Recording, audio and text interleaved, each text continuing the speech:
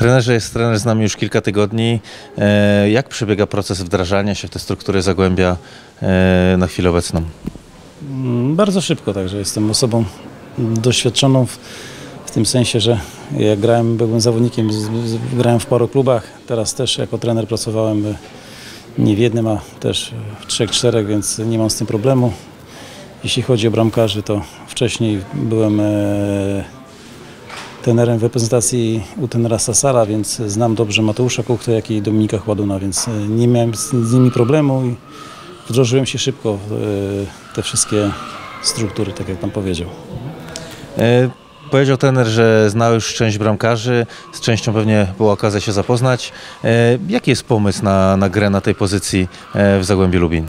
No, pomysł jest taki, żeby z meczu na mecz bronili coraz lepiej i, przede wszystkim się rozwijali. Są to młodzi bramkarze poza Leciejem, gdzie Lecie już jest po 30, aczkolwiek uważam, że yy, w każdym momencie kariery można się czegoś nauczyć i jestem już w jakichś tam pierwszych rozmowach z nimi, tak samo z Piotrkiem i, i uważa, że też jeszcze jest czegoś się w stanie ode mnie nauczyć, więc pracujemy ciężko, mamy dobrą atmosferę. Tak jak widać, yy, jest jeszcze z nami Kasper Bieszczat, gdzie gdzie rozmawiałem z trenerami z naszej akademii, więc e, Kacper dostał od nich taką nagrodę, zachętę i jest z nami, spisuje się bardzo dobrze. Mam nadzieję, że przekonam trenera, żeby dał mu szansę w jakimś sparingu zagrać może jakiś krótki epizod, ale też jestem z niego bardzo zadowolony.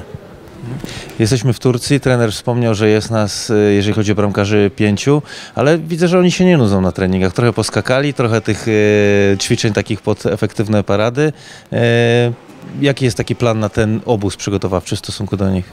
Musimy pracować nad, y, nad dużo, dużymi, y, większością elementów. Y, Wiem już mniej więcej na co każdego stać, co ma co poprawić i byłem przed podpisaniem umowy, byłem na spotkaniu z trenerem, więc też dostałem wskazówki od trenera, na co mam zwrócić w szczególności uwagę, więc, więc poprawiamy i technikę przesuwania i, i grę nogą, więc, więc y, jest nad czym pracować. Y, Mamy zawsze du, dużo czasu, więc ten trening jest ciekawy, urozmaicony na tą chwilę nie dochodzą mi jakieś wieści, że są niezadowoleni, więc zobaczymy jak będzie dalej. Ja staram się tak układać treningi, że oni byli zadowoleni, żeby ich ta dyspozycja potem się przekładała na mecze, wiadomo, że na zespół i tak dalej.